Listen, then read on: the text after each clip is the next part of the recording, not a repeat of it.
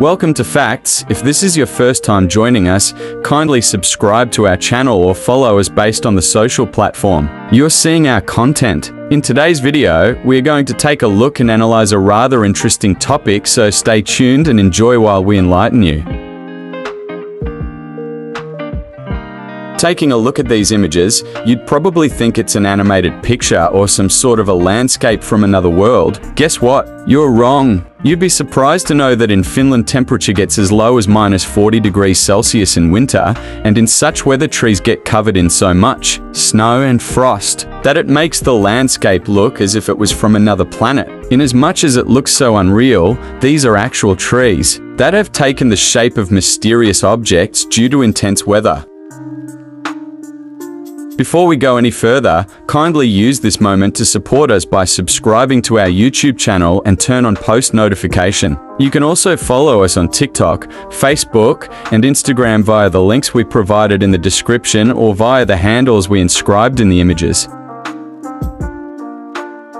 The northern part of Finland is mostly covered by the boreal forest, the largest territorial biome in the world, which freezes for about six months of the year. It's so cold there that forest trees actually freeze to look like ice sculptures, creating an otherworldly sight. The hauntingly beautiful frozen landscape looks and feels alive as you walk through. The shrubs, rocks, and trees become enveloped in pure white, creating amazing forms. Sometimes they look like an army of snowmen scattered all over the forest, or weird animals lying motionless. So how can these trees freeze in such unique forms? Surprisingly, northern Finland has quite a lot of humidity, and the ambient air is wet and dense. In fact, you can feel moisture in the air constantly in all seasons.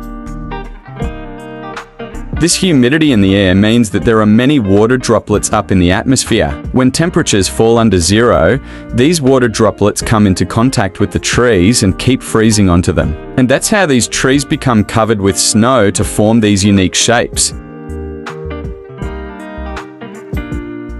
A good place to check this winter wonderland out is Riisitunturi National Park, which is famous for its breathtaking winter sceneries. You can go on a beautiful hike through huts scattered around the open wilderness there and arrive in a landscape of beautiful natural ice sculptures.